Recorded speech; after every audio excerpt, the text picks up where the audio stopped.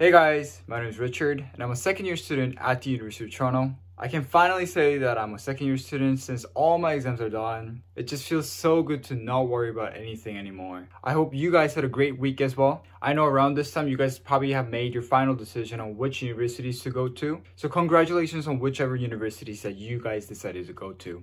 Since it's already end of April, school's gonna be done soon, which means summer is just around the corner. And when I came to U of T, I realized how important it is to spend your time well during your summer. So spending this summer well can potentially change your first year and your whole university life entirely. So today, I'll tell you guys how to spend your summer wisely. Alright, so first and foremost, I think most students often forget about this really important step because they're so busy worrying how their first year in university is gonna go. However, I think the most important thing that you guys need to do in summer is relaxing and having fun with your family first. Sure, planning ahead can be helpful. And many of you guys who are watching this video are probably planning ahead because you want to make sure that your first year in U of T goes well. So every one of you out there, the most important thing that you guys need to do right now is spend your time with your friends and family and especially those of you who are coming from a different province, different country, you guys are not going to see your friends and family for a long time. So make sure to spend as much time as you can with your friends and family because once you relax and have fun, you're gonna be all refreshed and ready to grind when you come to U of T. So make sure you're refreshed because you just finished your life in high school. And if you just keep on grinding over the summer, you'll most likely burn out when you come to U of T. So make sure that you guys are refreshed so that you can use all that power at U of T. For me, I can proudly say that I did a really good job on this because I had a really fun time before coming to university and I was very refreshed when the school year started. So trust me and just relax first. Alright, now that you guys know how important it is to spend your time with your friends and family, I can tell you guys the things to do in summer in order for you guys to have a better time at U of T. So during summer, there are two big things you guys must do. First, you need to find a place to live. And second, you need to enroll in classes. So I'll talk about finding place to stay first. So in my first year, I had a great experience on living on campus. Being part of New College, I stayed at 45 Willcocks. So if you guys are like me and thinking of staying on res, you guys will have to fill out a form on a website called StarRez. The exact link to this website will be on the description below, but it's starportal.utoronto.ca. So once you're on this website, you guys will then be able to choose what res you guys want to stay in. This is where you can choose if you want to have a single dorm or double dorm, and I'm pretty sure you can choose your meal plan here as well. You'll have all the prices for specific options, so look for the option that works the best for you. And if you guys want more information about residences, I highly recommend you guys to watch my other video, Everything You Need to Know About University of Toronto Dorms. I'll also put the link to this video in the description. One thing I want to let you guys know about the living on residence process is that you guys may or may not have to write an essay for me to live on 45 Willcocks, I remember I had to write why I would be a good fit to the community and what my personal values and beliefs are. I don't remember the exact questions, and I'm sure they change the questions every year, but don't be surprised if they ask you to write an essay or provide more information about yourself. It's kind of like the supplementary application process, but it's way easier, so don't worry about it too much. Now, once you guys have successfully figured out everything on this website, U of T will send you a confirmation notification on your residence. Here, before I move on, I want to emphasize that you don't have to live on campus in your first year. Lots of my friends are commuters as well, which means they don't live on campus, but they seem like they had a lot of fun as well. So don't worry if you don't get residence in your first year.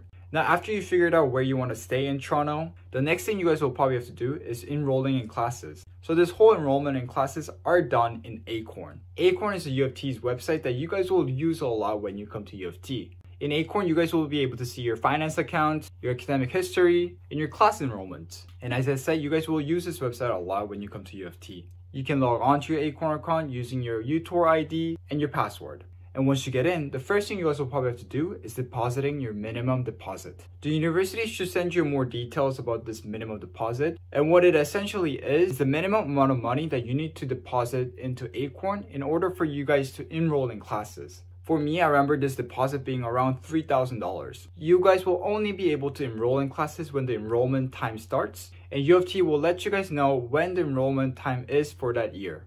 But remember that you can look for courses that you want to take and put it in your enrollment cart. Think of this process like Amazon. So you can look for the items that you want to buy and put it in your shopping cart. But putting the items in the shopping cart doesn't mean that you bought the item.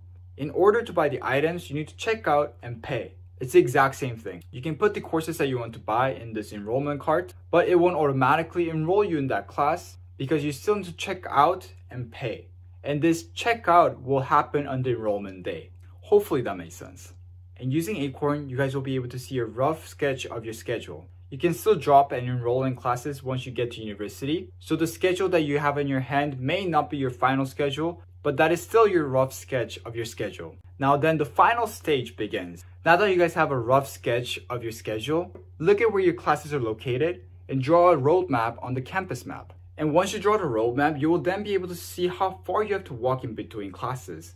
And if you have a back-to-back class that is like two kilometers away, make sure to switch out of that class because that's exactly what I did. I had a back-to-back -back class that was about 15 minutes of a walk and you have to give us 10 minutes to walk to your next class. And oh boy, I had to sprint like a madman on every Tuesday. So don't make the same mistake as I made and draw a roadmap and see how far your classes are. And if it's too far, make sure to space those classes out so that you have time to walk like a normal person.